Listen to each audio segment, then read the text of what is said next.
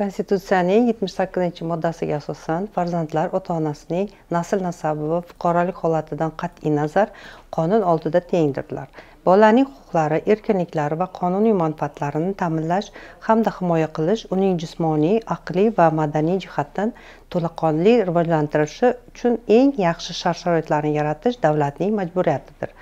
Onalik otalik va bolalik davlat tomonidan muhofaza qilinadi. Davlat va jamiyat bolalarda hamda yoshlarda milliy va umuminsoniy qadriyatlarga sodiqlikni mamlakatni hamda xalqning boy madaniy merosidan faxrlanishni vatanparvarlik va vatanga bo'lgan mehr muhabbat tuyg'ularini shakllantirish to'g'risida g'amxo'rlik qiladi.